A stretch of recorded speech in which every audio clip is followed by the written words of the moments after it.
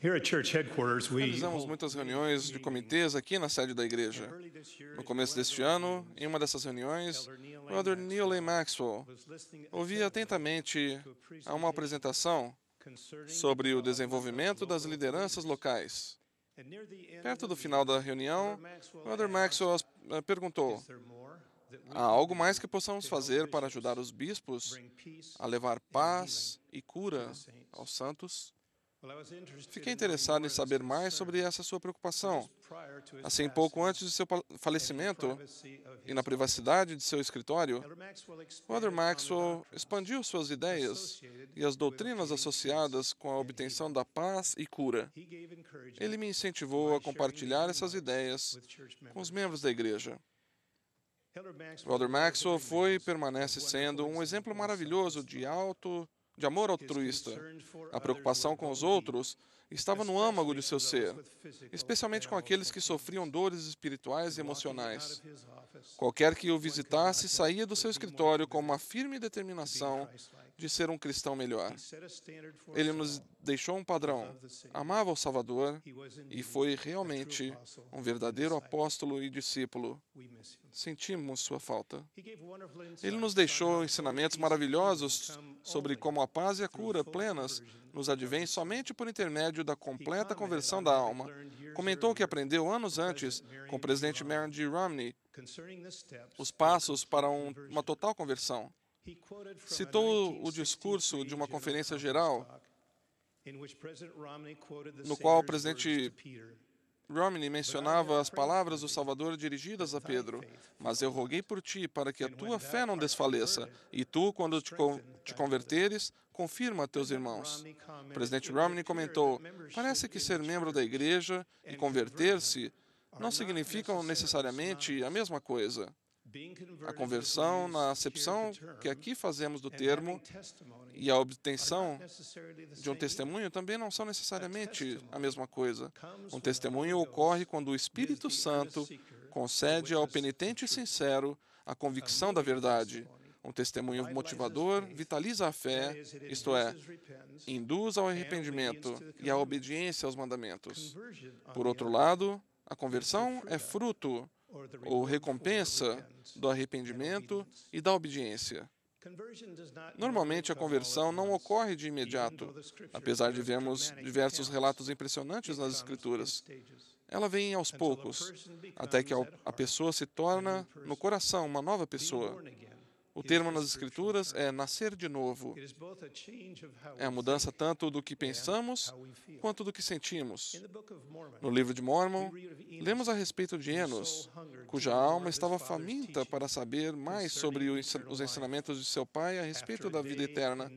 Depois de ficar em oração contínua por um dia e uma noite, "Enos, ele ouviu uma voz que lhe disse: Enos, perdoados são os teus pecados e tu serás abençoado. Enos writes, Enos "I escreve: E eu, Enos, lie." sabia que Deus não podia mentir, portanto minha culpa foi apagada. Há também o relato do profeta Alma, o, o filho, que conta a experiência de sua conversão a seu filho Elamã.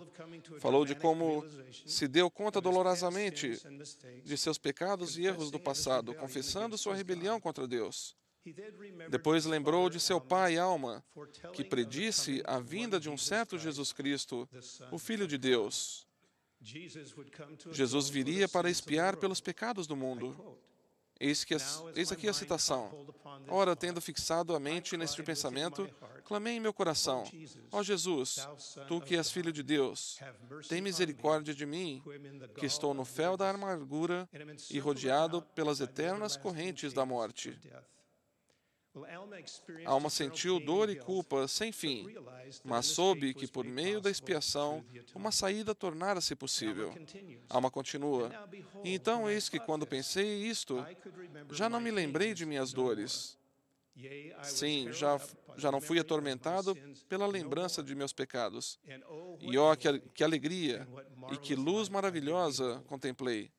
Sim, minha alma encheu-se de tanta alegria quanto was havia sido minha dor. Alma recebeu cura para sua alma, por meio do conhecimento de que Jesus viria e o livraria dos pecados. Ao ter sua alma curada, encontrou a paz consigo mesmo. Foi tão grande o efeito dessa conversão em alma que ele repetiu essa sensação ao filho Elamã. Sim, digo-te, meu filho, que nada pode haver tão intenso e cruciante como foram minhas dores. Sim, meu filho, digo-te também que, por outro lado, nada pode haver tão belo e doce como foi minha alegria. Ele estava ensinando a seu filho o padrão para a paz e alegria sem fim, assim como o pai de Enos fizera. Há um padrão aqui de pais ensinando a expiação e a vida eterna aos filhos. É um padrão para todos os pais de hoje em dia. Na conversão de alma, há muitos pontos de instrução que nos vêm à lembrança. Como Enos, ele tinha um claro conhecimento e remorso pelos pecados cometidos contra Deus. Como Enos, lembrou-se dos ensinamentos recebidos de seu pai, a promessa da expiação dos pecados por meio de Jesus Cristo. Como Enos, orou pessoalmente suplicando por sua alma vivenciou o milagre da expiação a ponto de não mais se lembrar da dor de seus pecados ou sentir culpa. A cura de sua alma foi uma experiência completa e purificadora, tanto da mente quanto do coração. A alegria substituiu a amargura. Tornou-se um homem novo, nascido novo, de novo do Espírito. Como Enos, voltou imediatamente sua atenção para o serviço ao Senhor e ao próximo. Será que o Senhor fará por nós o que fez por Enos e Alma?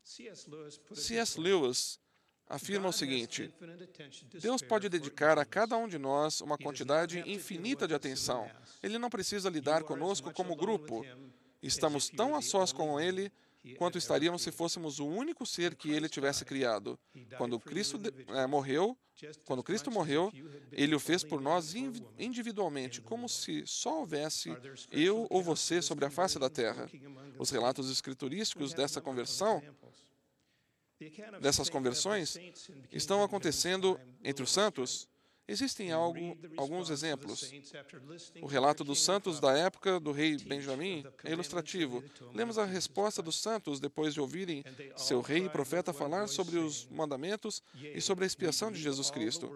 E todos clamaram a uma só voz, dizendo: Sim, acreditamos em todas as palavras que nos disseste, e também sabemos que são certas e verdadeiras, por causa do Espírito do Senhor Onipotente que efetuou em nós, ou melhor, em nosso coração, uma vigorosa mudança, de modo que não temos mais disposição para praticar o mal, mas sim de fazer o bem continuamente. E estamos dispostos a fazer um convênio com nosso Deus, de cumprir a sua vontade e obedecer a seus mandamentos, em todas as coisas que Ele nos ordenar, para o resto de nossos, de, nossos dias.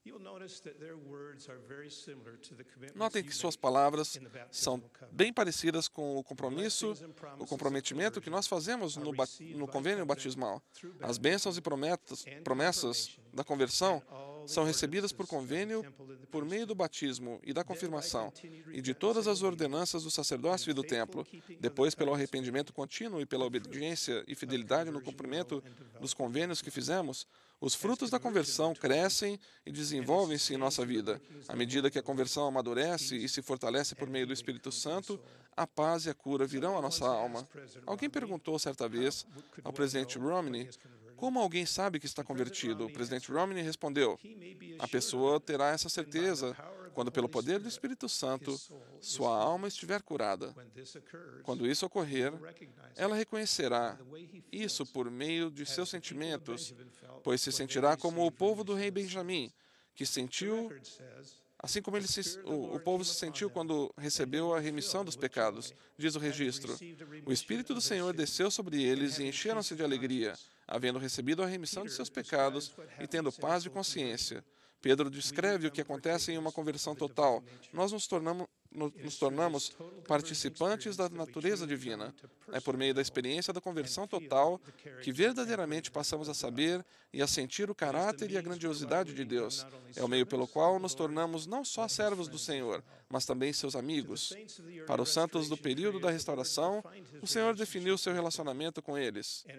E também vos digo, meus amigos, pois de agora em diante vos chamarei de amigos. Na conferência de outubro do ano passado, Elder Jeffrey R. Holland nos ensinou e também nos transmitiu seus sentimentos a respeito da grandiosidade e do caráter de Deus. Falou sobre a importância eterna de conhecermos a Deus, o Pai e a seu Filho Jesus Cristo. Citou o já conhecido versículo da oração intercessória do Salvador. E a vida eterna é esta: que te conheçam a ti só, por único Deus verdadeiro, e a Jesus Cristo, a quem, a quem enviaste. Também citou a afirmação um pouco menos conhecida de Joseph Smith. O primeiro princípio do Evangelho é conhecer com certeza o caráter de Deus.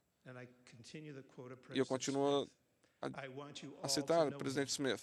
Quero que todos vocês o conheçam. Com o processo da conversão, passamos a conhecer a Deus e tornamos-nos seus amigos. E nos descobriu isso. Alma descobriu isso. Os ensinamentos do rei Benjamim revelaram isso. Está à disposição de todos os que se arrependerem e obedecerem aos mandamentos. Essa conversão é uma experiência íntima e intensamente pessoal. Tem a ver com relacionamentos. Envolve o despertar da luz de Cristo que está em todos os homens e em todas as mulheres. Envolve o despertar dentro de cada um de nós, do sentimento do Espírito Santo conduzindo-nos a um testemunho da verdade. Envolve o recebimento do Espírito Santo após aceitar o convênio do batismo. O dom do Espírito Santo dá-nos orientação e consolo em nosso discipulado, levando-nos para mais perto do Salvador. O Salvador, por sua vez, é nosso advogado para com o Pai, e mediante nossa fidelidade, ele nos, conduz, nos conduzirá para o Pai, para nos tornarmos herdeiros com Cristo. Temos um rico tesouro de maravilhosos ensinamentos e pensamentos dados a nós pelos santos profetas. Eles são realmente mensageiros de Deus que conduzem seus filhos para a salvação e a vida eterna. Seu testemunho contribui para o fortalecimento de nossa fé. Por favor, ouçam as suas palavras e testemunhos. Isso irá ajudá-los a encontrar paz e cura para sua alma. É meu testemunho pessoal de que o Espírito do Senhor é real e inconfundível. Eu testifico que o Pai e o Filho podem ser conhecidos por nós, por todos, e que eles nos amam. Sinto esse amor pelo poder do Espírito. Dessas verdades eu testifico no nome sagrado de Jesus Cristo. Amém.